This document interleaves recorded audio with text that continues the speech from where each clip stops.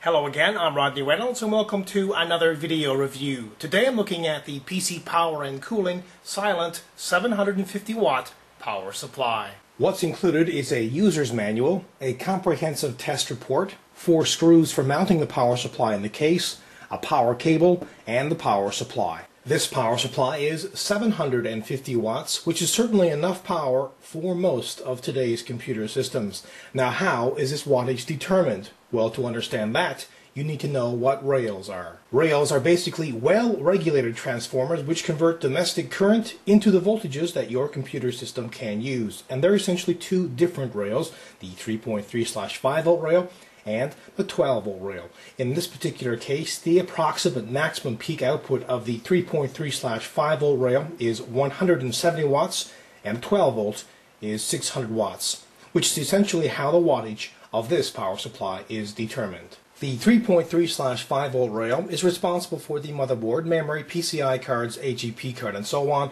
while the 12 volt rail is responsible for the hard drives, DVD, CD-ROM, fans, etc. Also, some might be interested to know the peak amps on each rail. Well, the plus 3.3 volt is 24 amps, the plus 5 volt is 30 amps, and the plus 12 volt is 60 amps. This ATX 12 volt power supply meets all the new environmental standards, today's latest testing procedures and protection. Now there are a couple of important factors to note when purchasing a power supply, and that's its efficiency and does it have active PFC. It's recommended to get a power supply that's about 80% efficient or better under typical load. This model has an efficiency of 83%.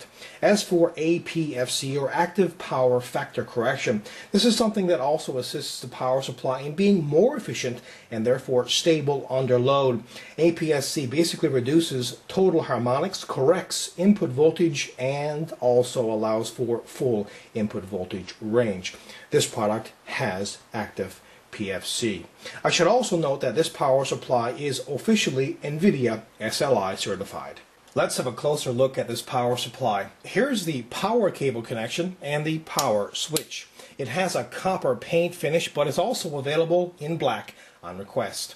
There is only one fan, and it's an 80 millimeter fan, but due to the unique ultra quiet cooling design, it generates less noise than normal.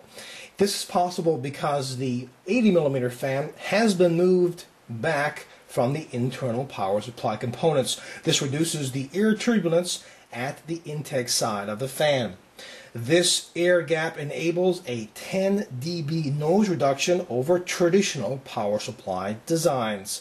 While this does add an inch and a half to the power supply's length, it's still well within ATX case standards. Additionally, the heatsink has been designed to take advantage of the airflow, and there are lots of ventilation holes to assist in keeping the inside of the power supply cool. This power supply has lots of leads, but only some of them are sleeved all the way up. The main motherboard leads as well as the PCI Express leads for the video cards are sleeved all the way up, but the others are half sleeved. Finally, have a listen to the 80mm fan.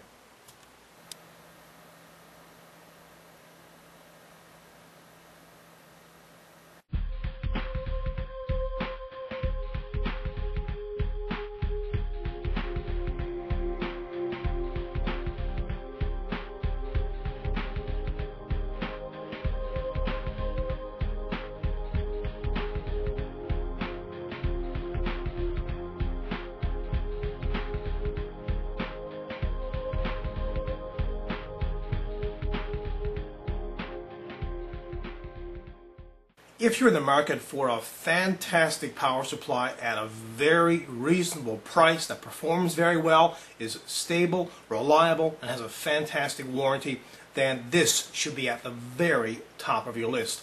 Now if you're going for a quad video card setup, that's four video cards, then PC Power and Cooling, they also have 1000 watt models that will satisfy that need. But if you're going dual video card in an SLI or a Crossfire setup, this is a perfect option. This product is definitely kick-ass. Again, my name is Rodney Reynolds. This has been another video review. Be sure to check back very soon. I will have a brand new one for you then. Also, pop into my website at www.3dgameman.com. And while you're there, you can go into the forums and register. And remember, registration is completely free. Also, keep in mind, you can find out a lot more on this product in the forums. And as a final note, if you love watching my video reviews, please remember to help support 3dgameman.com. If you wish to support, please visit support3gm.com. Until next time, take care.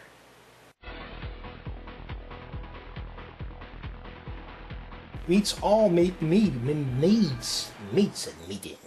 Power cable connection and the power switch, which I can't seem to switch. It's harder than it looks, man. Switching is difficult.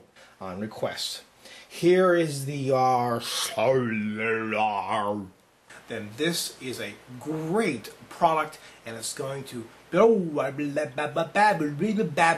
babbling or babble reliability as well as support from a great company, the PC Power and Cal